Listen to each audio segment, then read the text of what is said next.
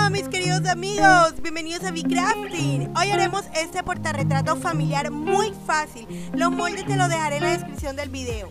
Iniciamos cortando uno de color agua marina. El marco lo vamos a difuminar de color azul cielo. En esta ocasión voy a hacerlo con un pincel. Si no te gusta, puedes hacerlo con tiza pastel, marcadores o un trapito. Yo por lo regular lo realizo de dos formas, con pincel y con el trapito. Si te gusta este video no olvides dar like y compartirlo con toditos tus amigos. Así nos ayudas a llegar a muchísimas más personas y a subir más videos semanales. Además, coméntame qué fue lo que más te gustó de esta manualidad. Una vez que termines de hacer este paso, voy a pegar acetato, lo cual le da apariencia de vidrio. Este material también es súper chévere para trabajar y hacer portarretratos. Voy a pegarlo con silicona, el marco sobre la base, aplicando en estas tres partes de aquí, para dejar un espacio así como lo ves el espacio de la derecha donde va a ir metida la foto. Ahora sí voy a hacer el ejercicio de aplicar la silicona en todo el borde, aplicando suavemente y en pequeñas cantidades, que quede uniforme para que pueda pegar bien. Esto hace que la foto pueda entrar.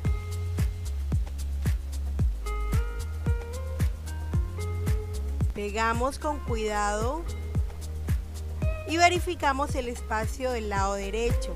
Realicé el mismo procedimiento con este marco azul que voy a pegar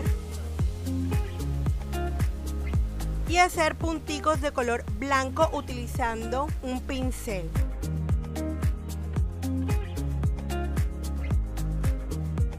Una vez termine vamos a dejar secar aproximadamente unos 10 minutos en total son dos portarretratos de color azul oscuro.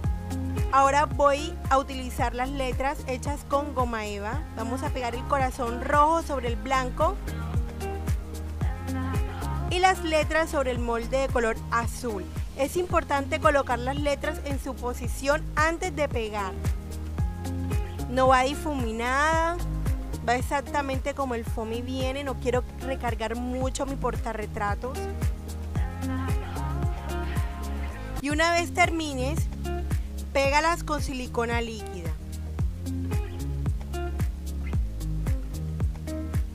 También pegamos el corazón pequeño sobre el círculo blanco. En total son tres. Ahora vamos a armar. Colocamos primero el portarretratos azul y pegamos el corazón en el lado derecho, en la parte de abajo.